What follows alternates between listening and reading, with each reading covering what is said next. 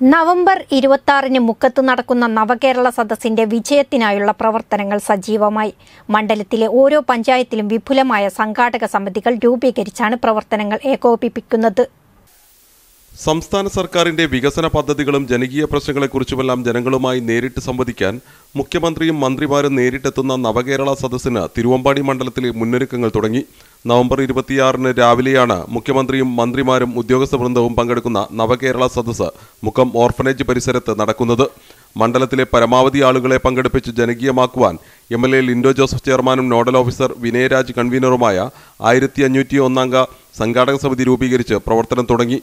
ഇതിന്റെ തുടർച്ചയായിട്ടാണ് മണ്ഡലത്തിലെ മുഴുവൻ പഞ്ചായത്തിലും പഞ്ചായത്ത് തല സംഘാടക സമിതി രൂപീകരിക്കുന്നത്.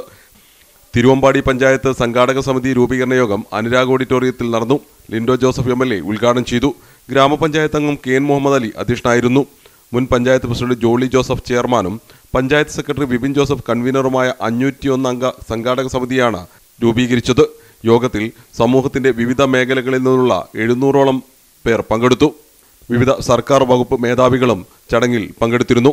സി പ്രാദേശിക വാർത്ത തിരുവമ്പാടി.